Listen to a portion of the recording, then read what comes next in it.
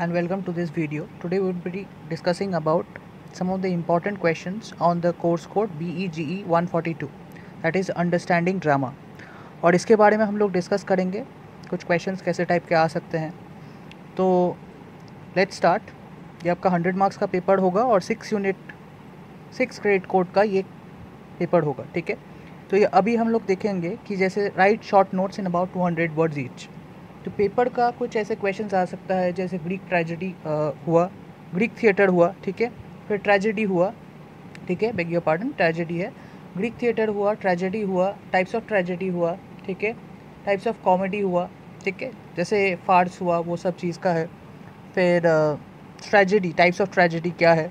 तो उसके बारे में किसी ने पूछा था कि टाइप्स ऑफ़ ट्रेजिडी क्या है? इसके बारे में मैं ब्लॉक वन में भी डिस्कस करूँगा, ठीक है?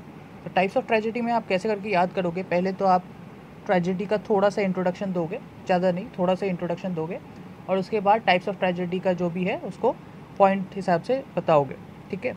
तो उसके बारे में हम लोग क्वेश्चन डिस्कस करेंगे। पहले हम लोग यहाँ पर जो क्वेश्चन है, उसके बारे में हम लोग डिस्कस कर लेते हैं। ग्रीक थिएटर अब हम लोग एक चीज़, पहले हम एक ओवरव्यू दे देते हैं। ग्रीक्स ऐसे इंसान थे मतलब ऐसे टाइप ऑफ़ बोल सकते हो जैसे ब्रिटिश इंग्लैंड हम लोग जैसे इंग्लिश पढ़ते हैं, ठीक है?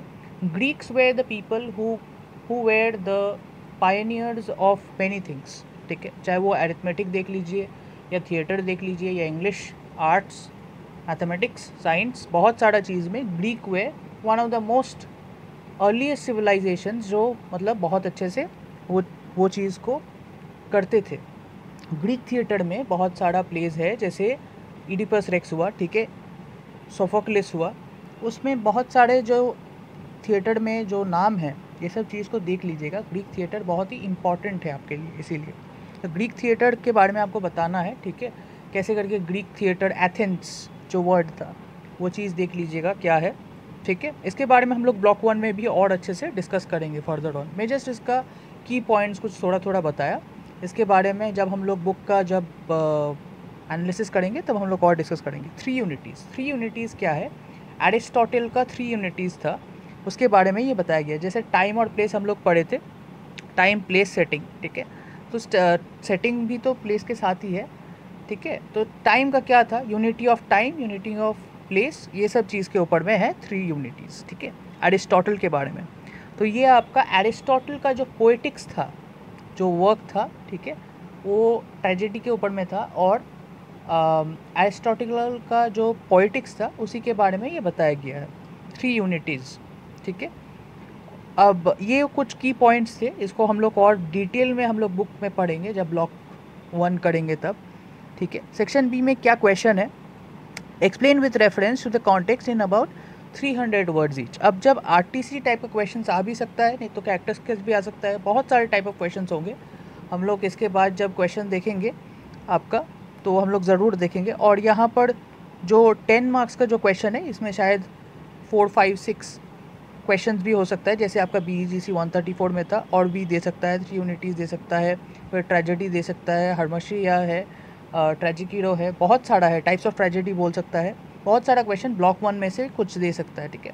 तो let's go on to section B जैसे explain with reference to the context in about three hundred words each अब यहाँ पर जो फ़र्स्ट क्वेश्चन है Chris Chris I did it for you it was chance and I took it for you I am sixty one years old when would I have another chance to make something for you ठीक है?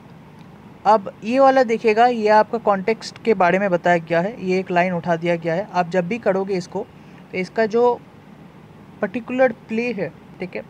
चाहे वो हाफिया house ही हो, या आपका trial of Dedan किमाटी हो, या कोई भी चीज़ में है, आप इसको बताइए कि कौन सा कॉन्टेक्ट से ये लिखा गया है और कौन ये राइटर है। तो आप लोग के लिए टास्क होगा कि अगर आप ये खोज के देखो कि ये कौन सा कॉन्टेक्स्ट में दिया गया है। ठीक है, क्योंकि रेफरेंस टू कॉन्टेक्स्ट अभी से प्रैक्टिस करना है। बाई चांस अगर आ गया पेपर में तो आप लोग के लिए ये बहुत इंपॉर्टेंट होगा। अगर आप लोग दो दिन के अंदर में from the date of the video अगर दो दिन के अंदर में ये आपका रेफरेंस टू कॉन्टेक्स्ट कौन से टेक्स्ट में लिया गया है, आप लोग नहीं बता पाए तो मैं कमेंट सेक्शन में ये, मैं ये बता दूँगा। ठीक है? That is your task number two क्या है? The object of his existence is dot dot as if dot dot he were there only to fill in the gaps in the lives of the others whatever other people accept of him or in whichever way they think they can use him. अगर आप देखोगे ये 300 words का है 300 words को कैसे करना है? पहले इंट्रोडक्शन दीजिएगा कि कहाँ से लिया गया है, ठीक है? Then you will write about the writer then you will talk about the context कहाँ से लिया गया है? और उसके बाद आप ये लाइन में जो है, उसके बारे में आप बताओगे। इसके बाद लास्ट में कंक्लूजन दे सकते हो कि इसके बारे में क्या आप समझ पाए, ठीक है? फिर थ्री क्या है? With the British we have be losers all the way yes but this in a new era this is a new war we have bled for you we have fought the wars for you against the Germans Japanese Italians ठीक है? ये three reference to context question है। तो मैं ये इसीलिए task दे रहा हूँ आप लोग को कि ये कौन से कॉन्टेक्स से लिया गया है ये मेरे को आप बताइए। क्योंकि ज, आ, जब हम लोग ब्लॉक वन करेंगे उससे पहले ही मैं आप लोग को बता दूँगा, मैं वन और टू डेज़ के अंदर में ही मैं आप लोग को बता दूँगा कि ये कौन सा कॉन्टेक्स्ट है। आप लोग के लिए ये टास्क होगा, ये क्या, कहाँ से लिया गया है, ये बताने के लिए, ठीक है? ताकि आप लोग भी ऐसे टाइप के क्वेश्चंस को थोड़ा प्रैक्टिस करें, ठीक है? अगर आर आया तो फिर दिक्कत हो जाएगा, क्योंकि ये डायरेक्ट क्वेश्चन नहीं होता है, ये आपका घुमा के क्वेश्चन होता है। अब सेक्शन सी में क्या है? Answer the following question in about 800 words each ये 500 टू 600 वर्ड्स का रेंज में हो सकता है, ठीक है? क्वेश्चन क्वेश्चन और ये आपका 15 मार्क्स का यहाँ पर दिया गया है। यहाँ पर वहाँ पर 20 मार्क्स का रेंज में हो सकता है ठीक है?